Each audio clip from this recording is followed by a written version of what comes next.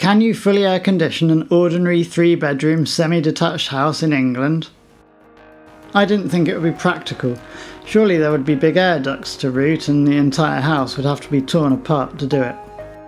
But my American friends, who were also of the opinion that a lack of air conditioning was somewhat uncivilized, told me I should investigate mini split air conditioning systems. A mini split system has a condenser or compressor unit outside and an interior unit inside. The two are connected by a thin set of copper pipes and electrical power and signalling cables. A single exterior unit can connect to several interior units, and different types of interior units are available, including wall and floor mounted ones. So, to get AC into a room, all you need is a place for the interior unit, a place outside for the exterior unit, and a route for some pipes to connect the two.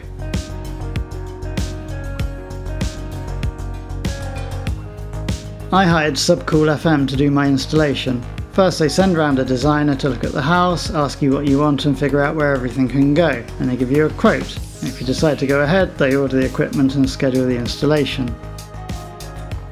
My installation took five days.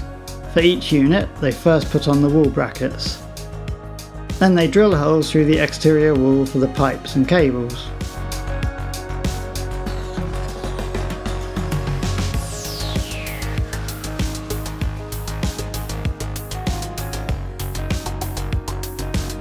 They braze pipes to the interior units, so there are no chances of leaks inside.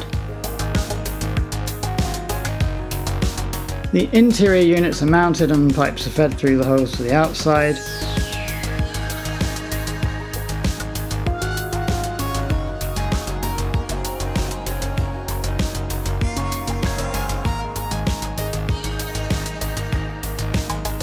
Pipes are routed to the exterior units.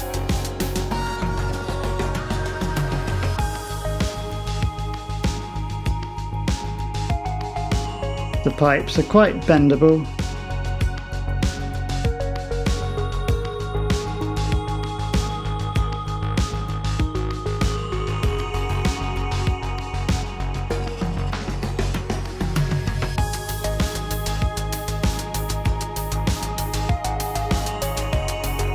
And can negotiate all sorts of obstacles including flat roofs. Everything is hidden inside trunking where appropriate, both inside and outside.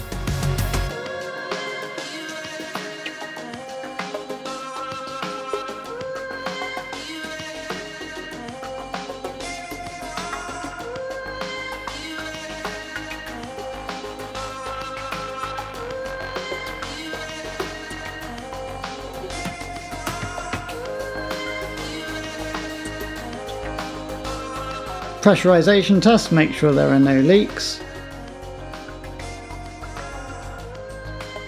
And all the water vapour is removed from the pipes before they are filled with refrigerant. Finally, the external units are wired into a ring mains via the back of a socket. These units only draw a maximum of 1500 watts, so there will be plenty of capacity for them on most normal ring mains.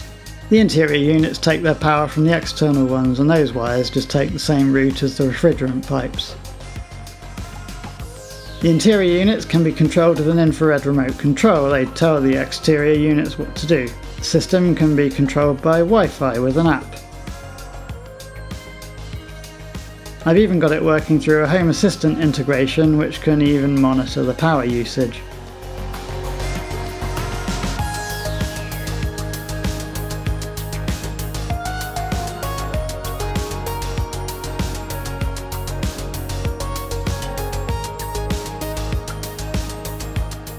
You might wonder why I'm posting about air conditioning at the start of winter, but these units can also be used for heating. Because they are heat pumps, they're very efficient.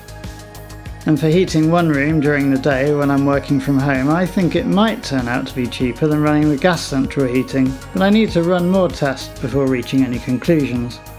I'm very happy with the installation. Many thanks to the guys from Subcool FM who were impeccable house guests, made no mess and were always happy to answer my questions and keep me informed about what they were doing and put up with me filming them.